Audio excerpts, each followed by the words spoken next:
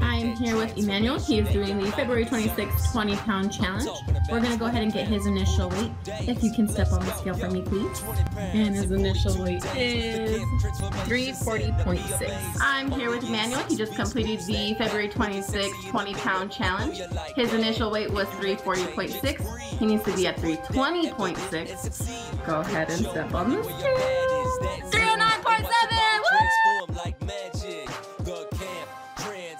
Christian Center. Sign up.